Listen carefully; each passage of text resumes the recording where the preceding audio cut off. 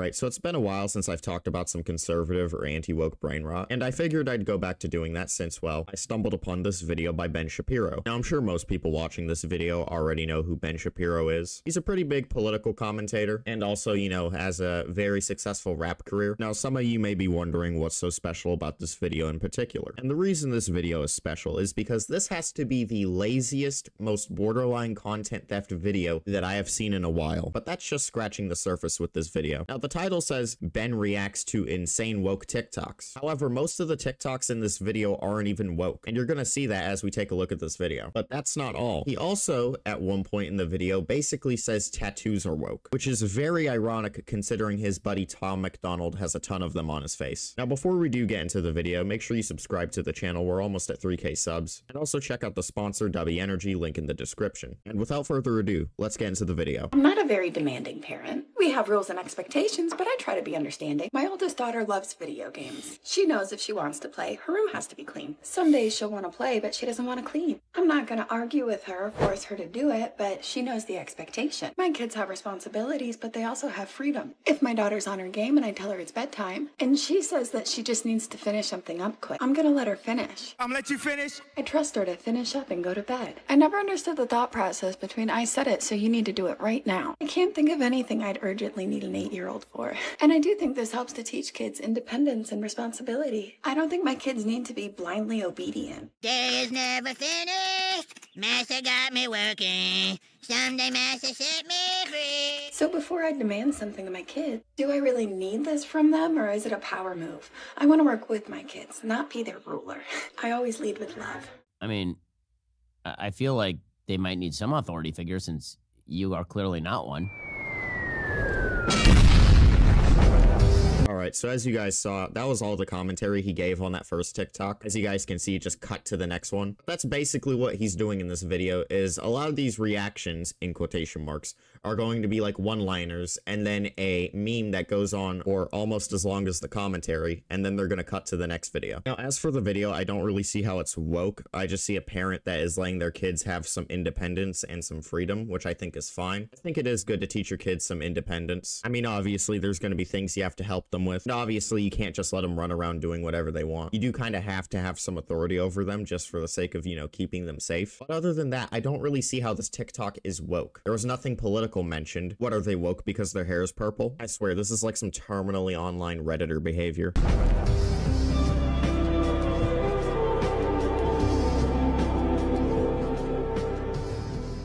What is happening?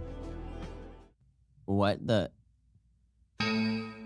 That's what? So first of all, I don't know what that lady's wearing. It's it's effed up. Second of all, I didn't realize that women feel that way about the incredibly moving tradition of your family ushering you down the aisle so that you can join a new family unit, which is what that tradition is about. And I don't know very many women who are offended by, by this particular tradition unless they are deeply unhappy people. Now, I'm not gonna lie, I was also a little bit confused when I saw that video, but a good friend of the channel, Anushi, came to chime in and basically shed some light on why some women feel this way. Like, the take itself, I think, like, this is the... take is kind of strange, but The take, yeah, the take is strange because, I don't know, personally, I don't really view view it as that. I've... I kind of see it as, like, yeah, me either. that that's the only video where I think Ben Shapiro might actually have a good take. Uh, I certainly don't. Anushi, uh, at Rynse, aka Man, can I drop some history on this? I know about the topic. Sure. Let me invite you. Uh, move to. Uh, yeah. Oh yeah, thank you, Domino. Hi. Uh, hello. Okay. Thank you for what? Huh? Uh, I th- did you bring him on? So- Oh wait, Anushi's an admin. They can just come on the stage. By the way. yeah, I, for- I forgot. I was like, wait, did I promote Domino to a mod already? Uh, sh- No. Okay, so the whole thing about this so, so marriage wasn't originally like an, an actual thing, like it didn't exist.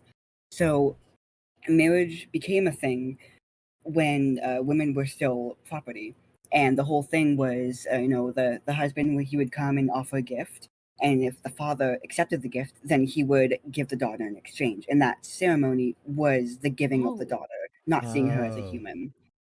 oh, So So it's a very impactful. oh. Yeah, so as a tra- tra- tradition, you know, it's seen a little bit differently today, but the origin is still very difficult for a lot of women. It feels like they're just being seen as a property. Yeah, okay, now that makes more sense. But yeah, shouts to Anushi for telling me that because I never knew. And you know, knowing that, that kind of helps understand the video more. And looking at it now, the video makes a little bit more sense. But still, I don't really see how this video is woke. Because remember, this is a woke TikTok reaction video. And these are supposed to be woke TikToks. I'm not really seeing how this video is woke. Hey, I want to talk to y'all about something confusing. I'm talking about those nails. Those are confusing. Jerry Seinfeld talking about how he misses real men. I miss uh, a dominant masculinity. He literally is going on a rant saying like, "Where are all the real men at?" You know, and that Winnie the Pooh had voice. and I guess I'm just like a little confused because this is the same guy who voiced a bee that woman, right? No, yeah, I just like they just like wanted to be clear. That's who we were talking about. And like he's a Zionist, so hmm. regardless, I just can't wrap my brain around the fact that his cadence is the same as Lemongrab's, and he's like in the same breath being really misogynistic and homophobic. Like, I don't understand. It's the crazy laugh that really makes it. I know that laugh. Ugh. You know what? There- there- There's a there's something that people have been calling in the online world the omni cause. The omni cause is the idea of queers for Palestine. That if you believe all the left wing things, you also have to hate Zionists, which is code for Jews. And this person is an excellent example of that. You have to hate all the things at once, otherwise you're not part of the omni cause. All right, so this might be the only TikTok on the list that actually might be considered woke. We got a few things to address here because, you know, there's a lot to unpack here. So first off, let's just go ahead and start off with the most noticeable thing, and that is the whole Jabba the Hutt edit that they kept doing like what, 3, 4 times. They just absolutely ran the joke into the ground. Look, guys, I'm no comedy connoisseur, but like after 4 times of using the joke, at least I think it was 4 times. The joke starts to become a little bit unfunny. Not that I ever found it funny in the first place. I mean, you know, who body shaming? Whoa, so edgy, so funny. You know, uh, peak Daily Wire humor, am I right? But like, I know some people find the edit offensive. I personally am not going to lose sleep over it, but it kind of just says more about the Daily Wire than the person they're making fun of, if anything. And then Ben Shapiro just completely ignores the main point of the video and then harps on the little thing that she said at the end. And then he goes on a completely different rant that had nothing to do with the main point of the video. So now I'm just a bit lost and confused. I don't even really know what to say because I don't really know what he's talking about, and I can't really comment on something I don't know anything about. What I will say is I think it would have been more interesting to see him address the main point of the video, which was basically the girl calling Jerry Seinfeld, you know, homophobic and misogynistic. You know, I think that would have made for a better reaction, but hey, that's just me though. I'm a Gen Z in corporate. Of course, I'm not going to that meeting that's during my lunchtime. Sorry. Take it off the schedule. I'm a Gen Z in corporate. Of course, the screen is hitting the keyboard at 5 o'clock on the dot. Maybe even 4.30. Sorry. I'm a Gen Z in corporate. What do you mean, what is a mental health day? Figure it out, because I'm taking one a month. Sorry. Is this person a parody or is that is that person real? I am for real. Unfortunately, the fact that I even have to ask whether it's a parody or real says pretty much everything. In fact, what they're actually doing is they're artificially increasing the price of labor and decreasing their own productivity to the extent that it's actually making AI significantly more attractive for employers to adopt. Because you'd rather have a computer that doesn't mouth off to you and expect pay, and you'll expend additional resources up front in order to make that happen rather than dealing with these people. What do you mean, you people? You know, this is something I've been wanting to talk about for a while, and now is the perfect time to talk about it. I have been seeing for a while boomers complaining that Gen Z is very hard to work with, and, you know, Gen Z is, you know, such a sensitive generation and they suck, and blah, blah, blah, blah, blah. And it's like, no, Gen Z isn't hard to work with, they just know what they get paid to do. They know exactly when they have to clock in and when they have to clock out. And boomers hate that because they know they have to play the game fairly. For Ben Shapiro to sit there and be like, oh yeah, if you don't work an extra 30 minutes or an hour that's not paid for, then you deserve to have your job replaced by AI. Because that's essentially what he's trying to say here, talking about some, oh, Gen Z workers know their rights and it makes AI look a lot more appealing because, you know, the AI doesn't mouth off to you. I mean, you can't be serious. Anytime it's time to teach about the LGBTQ plus community in school, there is pushback from the students. And Right, because why are you teaching about that in school? They cite culture. They will cite any reason under the sun to justify them leaving the classroom. On one particular occasion, I was called to a specific class who had essentially rebelled and said, We're not learning about this today. I said, Okay, cool. No, good for the Who class. knows what an abortion is? Not everyone knew. I said, An abortion is a termination of a pregnancy. Put your hands up if you agree with abortion. A few students put their hands up. I said, Put your hand up if you disagree with abortion. A few students put their hands up. And I said, That's it. I haven't told you you need to be in support of it and to go marching on the streets. I haven't told you that you should be against it. I have taught you this piece of information so you will not be ignorant. I mean, honest to God, I don't understand why it, that, that's she's not educating them about anything. She she literally didn't even teach them about abortion in any serious way. That'll teach you to teach me. They will cite any reason. The notion that there's value neutrality in education is a lie. There's no value neutrality in education. That is the reality that people need to get through their skulls. It's either going to be traditional virtue or it's going to be left wing secularism. There really isn't a lot of in between. Okay, I am sorry, but how is this TikTok woke in any way, shape, or form? This is like the most neutral TikTok ever. They never claimed to be in support of the LGBTQ. They never claimed to be in support of abortions. All they said was that they were informing students so they would not be ignorant. You know, like how a teacher is supposed to do inform students about things so they are not ignorant, so they are not stupid. How is that woke? Didn't know not having any biases as a teacher was woke. So, how have the vibes been lately? Low key? Off.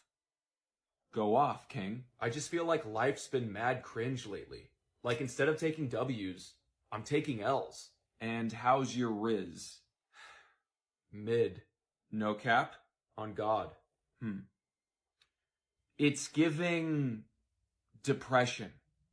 Dead ass? Dead ass. Facts. That's facts. He did it! He said it! No printer. Period. They speak a different language than we, the humans. Guys, guys, get it? Gen Z slang? Funny. Ha ha ha ha ha. Also, this has to be like the least woke video by far. It's literally just making fun of Gen Z slang. How is that woke?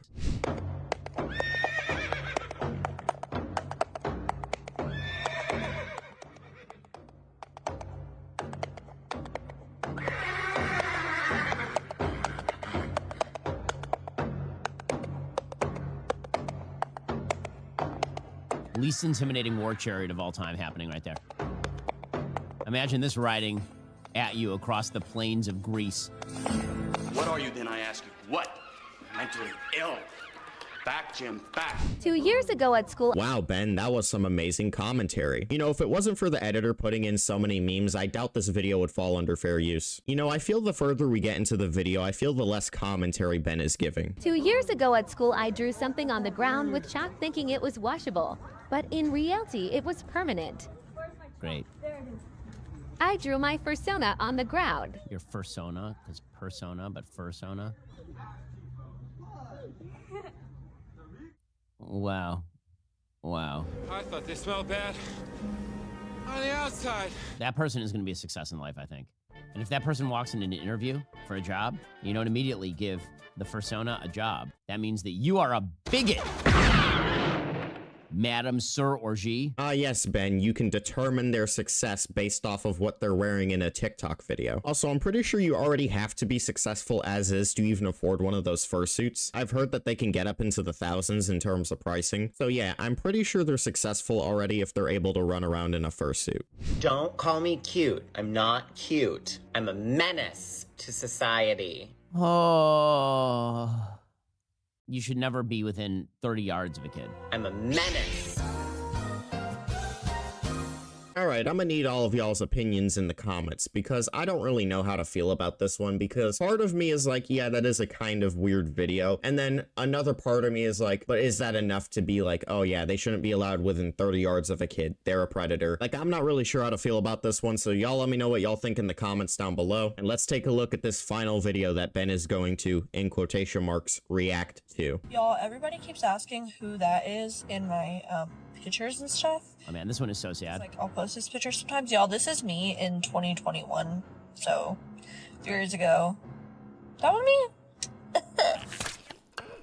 Don't do that again. Wokeness destroys lives. Wow, that's that's terrible. Oh yeah, yeah. Don't give me the the split snake tongue. That's oh my god. These people went and got surgeries. Uh,